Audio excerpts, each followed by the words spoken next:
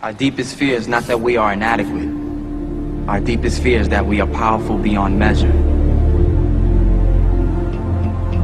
Beyond measure. The world ain't all sunshine and rainbows. It's a very mean and nasty place, and I don't care how tough you are, it will beat you to your knees and keep you there permanently if you let it. You, me, or nobody is gonna hit as hard as life.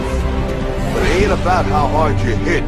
It's about how hard you can get hit and keep moving forward. How much you can take and keep moving forward. That's how winning is done. Because if you're willing to go through all the battling you gotta go through to get to where you want to get, who's got the right to stop you? I mean, maybe some of you guys got something you never finished, something you really want to do, something you never said to someone, something. And you're told no, even after you pay your dues. Who's got the right to listen to your gut. It ain't nobody's right to say no. After you earn your right to be where you want to be and do what you want to do.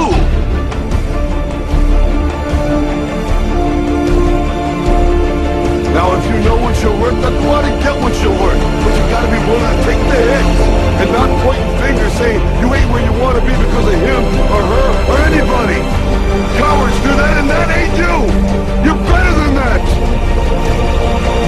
Our deepest fear is not that we are now.